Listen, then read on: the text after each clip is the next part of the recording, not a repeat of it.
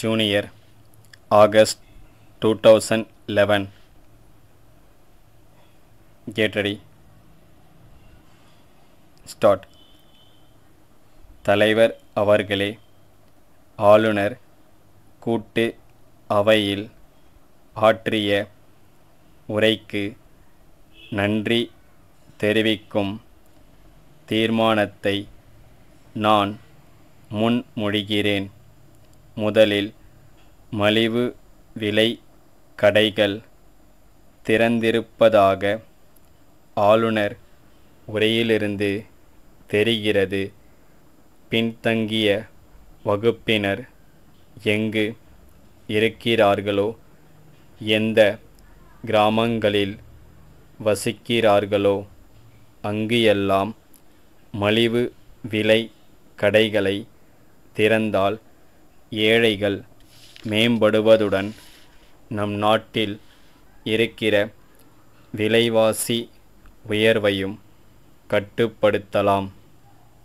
அரிசி கொள்முதலை சிறிய அதிகாரிகள் நன்றாக கண்காணித்து கொள்முதல் செய்தால் நாட்டில் அரிசி கொள்முதலுக்கே இடமில்லாமல் போய்விடும்.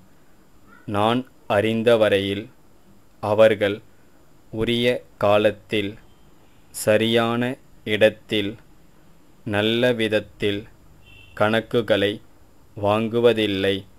அரசுக்கு தெரிவிப்பதும் இல்லை. அப்படி இல்லாமல் அவர்கள் கண்ணும் கருத்துமாக இந்த கொள்முதலை கவனித்தால் நாட்டில் இருக்கிற விளைச்சல் நமக்கு போதுமானது. நமக்கு இருக்கிற பற்றாக்குறையை பார்த்தால் மிக குறைவாகத்தான் இருக்கிறது. தொழிலாளர்கள் நல உரிமை குறித்து சொல்லப்பட்டிருக்கிறது. தொழிலாளர்களுக்கு கட்டாயமாக காப்புறுதி திட்டம் அமல் செய்யப்பட வேண்டும் முதலாளிகளும் அதிபர்களும் பங்கு கொண்டு அவர்களும் பாதி பங்கு அளிக்கக்கூடிய ஒரு திட்டமாக வகுத்தால் தொழிலாளர்களுடைய பொருளாதார நிலை வளர உதவியாக இருக்கும். தொழிலாளர்களுக்கு பெரும் முதலாளிகள் வீடு கட்டி கொடுக்க வேண்டும். அப்பொழுதுதான் அவர்களுடைய நிலை உயரும். எங்கள் பகுதிகளில் தொழிலாளர்கள் மிகவும் பின்தங்கிவிட்டார்கள். அவர்களை கவனிப்பதற்கு பெரிய அதிபர்கள் முன் வருவதில்லை. சில பெரிய அதிபர்களை தவிர மற்றவர்கள் அவர்களுடைய நிலையை கவனிப்பதே இல்லை. காப்புறுதி திட்டம் வீடு கட்டும் திட்டம் ஆகியவற்றை அவர்களுக்கு அமல் செய்ய அதிகாரிகளுக்கு கட்டளையிட வேண்டும். மேலும் அவர்களிடையே சிறு சேமிப்பு திட்டத்தை புகுத்த வேண்டும். அதற்காக அவர்களிடத்தில் நல்ல பிரச்சாரம் செய்ய வேண்டும்.